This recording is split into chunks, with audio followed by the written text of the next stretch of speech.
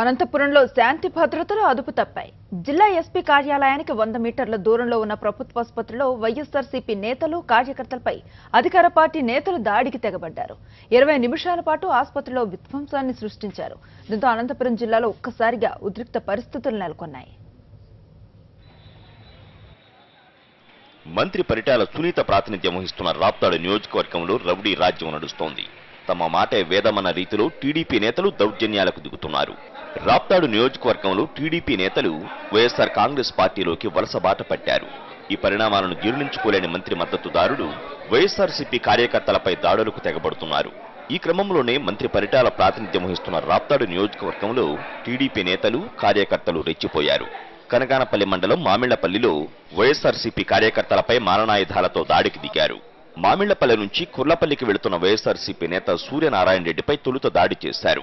ఆ వెనుకే వస్తున్న మరో ముగ్గురు వైఎస్ఆర్సీపీ కార్యకర్తలు అడ్డుకునే ప్రయత్నం చేయడంతో వారిపై విచక్షణారహితంగా దాడి చేశారు. ఈ దాడిలో నలుగురు వైఎస్ఆర్సీపీ కార్యకర్తలు తీవ్రంగా గాయపడ్డారు. అక్కడ రాయితో కొట్టినారు తలకి అందులోకి వాళ్ళు పక్క ప్లాన్తో ఉండి రాట్లు తీసుకొని ఉండి అందరినీ కొట్టినారు సార్. వాళ్ళు? సుమారు ముప్పై మంది వాళ్ళు ఉంటారు సార్. వాళ్ళ పేర్లు అయితే నాకు తెలియదు. మేనల్ రాజ రాజప్ప రాంకిట్ట కొడుకు ఆ, ఆదప్ప వెంకటరాముడు వీళ్ళందరూ సార్ వాళ్ళ పేర్లు. అవును సార్ టీడీపీ టీడీపీ సార్. వాళ్ళు సంపలని ముందుగా పోయినారు సార్. నాకైతే ఏం తెలియదు తోటలోకి పోయినా ముందు రాళ్ళు తీసుకుంటారు వేసినారు సార్. కింద కొడతానే రాళ్ళు తీసుకొని అన్నీ వేసినారు. మళ్ళా నేను లేచి మా అన్నయ్య వచ్చినాడు వెనకల.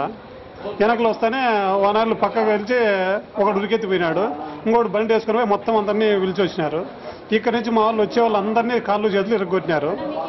మనం ఇక్కడ తిరుగుతున్నామని చెప్పేసి పార్టీ పరంగా దీన్ని చేసి నువ్వు అంతా తిరిగేవానివే అది ఇది అని చెప్పేసి నిన్ను సంపాలని ఒకరు ఒకరినొకరిని చంపేది ఎవరుండారు మీకు దిక్కు? ఏంది వా- వాళ్ళు వస్తారు వీళ్ళు వస్తారు అందరూ ఫోన్ చేస్తారు మాకు అని మాట మేమేం మాట్లాడుతున్నాము? ఏమని కూడా వినలేదు సార్. ఊరికే వచ్చి నిలవే పొయ్యేవని బండిలో తీసుకొట్టినారు సార్ ఇదంతా.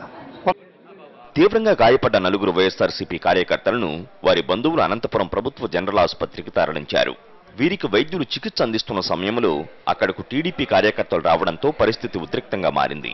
విచక్షణారహితంగా ఆసుపత్రిలో దాడులకు దిగారు.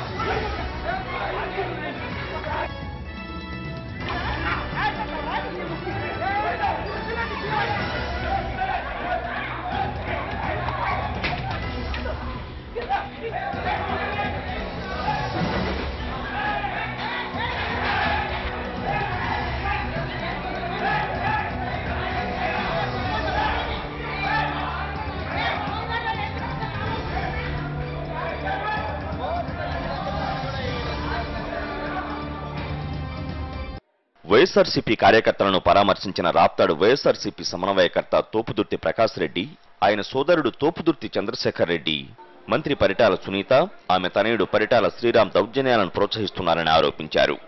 రాప్తాడు హెడ్ క్వార్టర్లో జాయినింగ్స్ కానీ రామగిరి హెడ్ క్వార్టర్లో జాయినింగ్స్ కానీ తెలుగుదేశం పార్టీ నుండి గత వారం రోజులుగా వలసలు వైఎస్ఆర్ కాంగ్రెస్ పార్టీలోకి వస్తున్న పరిస్థితి చూసి ప్రత్యేకించి బీసీ కులాలు వైఎస్ఆర్ పార్టీ వైపు ఆకర్షితులు అవుతుండడం చూసి ఈరోజు చంద్రాయుడు ఉద్యోగము అతనికి వెనక్కిప్పించాలంటే వైఎస్ఆర్ పార్టీ వర్గీయులపైన దాడి చేయాలి అనే ఒక కండిషన్తో పరిటాల శ్రీరాము పక్కా ప్రణాళికతో ఈ దాడి చేయించినాడనేది మా అభిప్రాయం ఇటువంటి దాడులను ప్రోత్సహించడము అందులో బలిపశువులుగా బీసీలని చేయడము వైఎస్ఆర్ పార్టీ కార్యకర్తలను పైన దాడులకు వాళ్ళని ప్రేరేపించడము అభివృద్ధి అనే దానికి ఆమడ దూరంలో ఉన్న తెలుగుదేశం పార్టీ బతికి కట్టాలంటే వర్గాలు చేయడము ఘర్షణలు చేయడం వర్గాలు చేయడము వర్గ రాజకీయాల ద్వారానే వాళ్ళ ఉనికి నిలబెట్టుకునే ప్రయత్నంలో భాగంగానే ఇది జరిగిందని భావిస్తాను ఆసుపత్రిలోని పరిస్థితులు చూస్తే తోపుదుర్తి ప్రకాష్ రెడ్డి హత్యకు కుట్ర పన్నారా అన్న అనుమానాలు తలెత్తుతున్నాయి. ఆసుపత్రికి వచ్చిన టీడీపీ కార్యకర్తల చేతుల్లో రాడ్లు కత్తులు ఉన్నాయి. చికిత్స కోసం వచ్చేవారు కత్తులు రాడ్లు ఎందుకు తెచ్చారనేది తెలియాలి. దాడి జరిగిన ఇరవై నిమిషాల వరకు అవుట్పోస్ట్ పోలీసులు సైతం అక్కడికి చేరుకోలేదు. ఇంత పెద్ద గొడవ జరుగుతుందని తెలిసినా ప్రకాష్ రెడ్డిని గదిలో నిర్బంధించి గది తలుపులు కిటికీలు పగలగొట్టేందుకు ప్రయత్నిస్తున్నారని తెలిసినా అరగంట పాటు పోలీసులు అక్కడికి రాలేదు. ప్రకాష్ రెడ్డి సోదరుడు చందు ఆసుపత్రికి వచ్చేదాకా ఆయన ఆసుపత్రిలోని నిర్బంధంలో ఉండిపోయారు. ఇలా ఉండగా ఆసుపత్రిలో బాధితులను పరామర్శించేందుకు వెళ్ళిన తోపుదుర్తి ప్రకాష్ రెడ్డి చందును మూడో పట్టణ పోలీసులు సోమవారం రాత్రి అదుపులోకి తీసుకున్నారు.